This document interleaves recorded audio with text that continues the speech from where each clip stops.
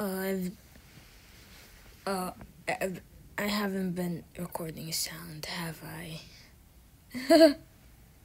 well, you saw everything, and now you know what's gonna happen in the next episode. See you next time. Bye.